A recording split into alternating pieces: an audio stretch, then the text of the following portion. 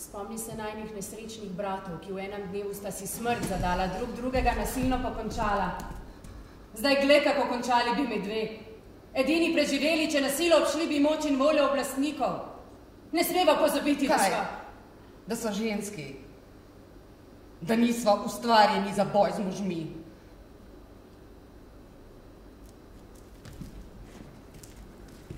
Ne, ne silite. Čeprav bi mi zdaj sama hotela pomagati nočem. Stori, kar se ti zdi. Jaz ga pokopljem. Sama. A zdaj, ko ta dva padla sta, kot žrtvi usode dvojne isti dan,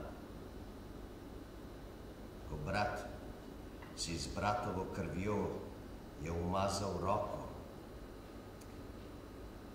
sem jaz prevzel oblast, zasedel prestol, ker eh, mrtvima najbližji sem porodu. In v skladu s tem sem izdal meščanom razglas glede Ojdipovih sinov.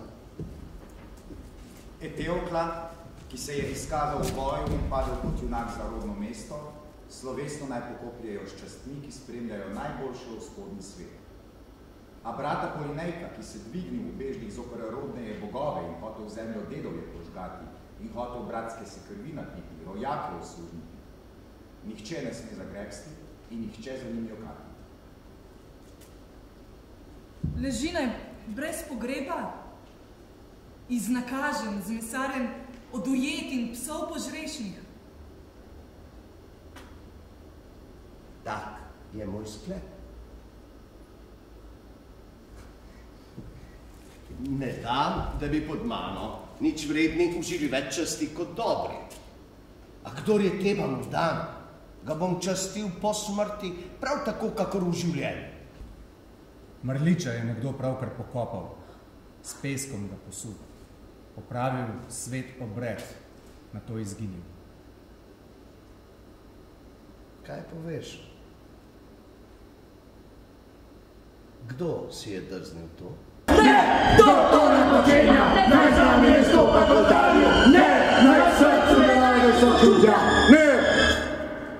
Lastnim očem ne verjamem. In vendar je res, to je dekle. To je Antigon.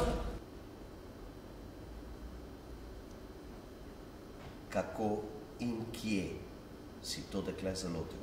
Ko urejala je grob, sem jo ujel.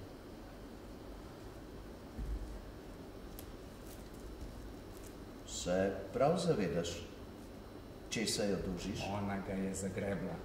Zdaj veš vse. Vem, da razglas minljivega človeka nima moči, da omaje neomajne in nenapisane bogov zakone. Njih zakoni od danes, ne od včeraj, na vek velja. Nihče ne ve od kdaj. Kako bi mogla v strahu pred človekom kršiti ga, da s tem si Božjo kazen nakopljem? Če mi odmeriš smrt, me ne boli. Da zapisana sem smrti, sem vedela že brez razglasov tvojih. Kdor kakor jaz živi, temu prinese smrt le čist dobiček.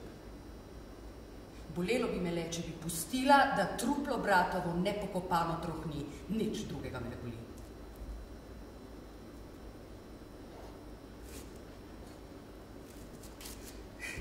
Če se ti zdi norost, kar jaz počenjam, je kot bi norec mi norost očitno. Dokler bom živ, ne bo tu ženske vlade. Naj te ne moti to, da sem še mlad. Saj niso važna leta, temveč dejstva. Naprimer dejstvo izdajalcem čast? Ne. Mar to dekle ni zagrešilo izdajstva? Meščani te pa niso tega mnenja. Meščan me bo učil, kako naj vladam. ha? Mar nisem jaz tej hiši gospodar? Država ni last enega moža. Samo v pustini lahko vladaš sam. Pripeljite nesnago. Naj umre takoj, na mestu, tu, pred ženino. To se izbi iz glave. Ne bo umrla!